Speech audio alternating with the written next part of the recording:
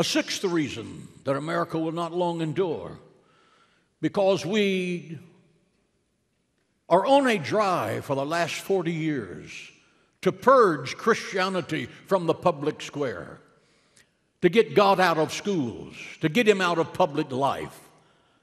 This will prove suicidal for America. In God we trust is not just a phrase, it better be a fact. Because when we quit trusting in Him, the foundations are gone. And if the foundations be destroyed, what can the righteous do? Christopher Dawson wrote, and I quote, The last consequence of a dying Christianity is a dying people. I'm going to say that a little plainer. When a nation embraces abortion, the death rate is greater than the birth rate, and so the nation is dying because you're burying more people than are being born. And when you push Christianity out, that's what happens. And you people who are running around calling yourselves Christians, supporting abortion, you're not.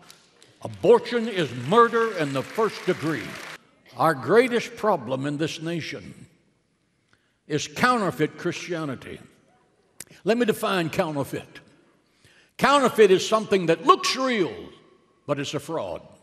America is saturated with counterfeit Christianity.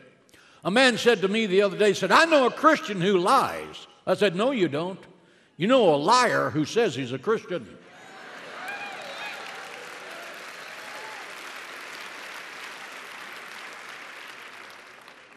Hello, pastors of America. Slide up to the edge of your couch and turn up the volume. Those of you who got on national television and endorsed homosexual lifestyle because the president did so, you are a counterfeit Christian. You are a moral coward. You are a hireling shepherd. Shame on you.